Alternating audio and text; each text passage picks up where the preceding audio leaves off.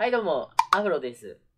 本日はですね、このね、オクトエキスパンションのえルールの中から一つ持ってきまして、あの、これは同じ形にしろっていう。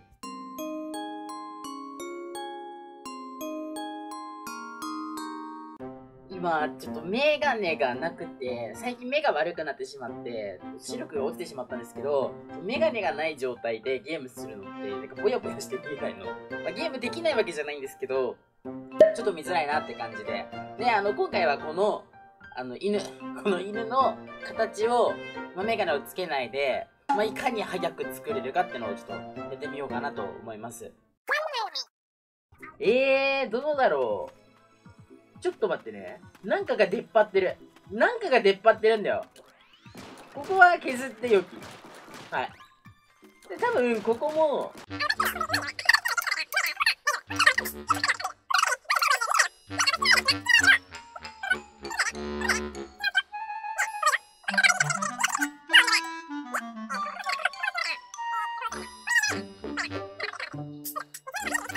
後ろ、後ろ3本？後ろ3本？後ろ3本だよ。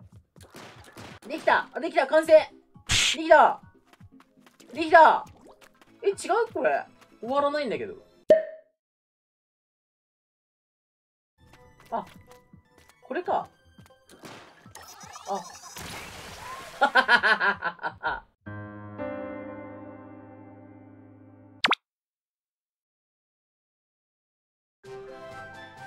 あ、見やすい、見やすい、見やすい。全然違う。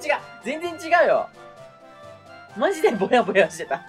なんだろう。編集でちょっとかけてみるね。あの、モザイクかけてみるので、こんな感じで見えてるよって、やりたいな。